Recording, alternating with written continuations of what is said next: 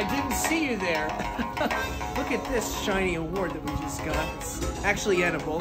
Um, I wouldn't suggest eating it, but you can. Um, and what I like most about it is this mirror in the center that I can brush my teeth in. This is Van Fleet's million subscriptions on YouTube.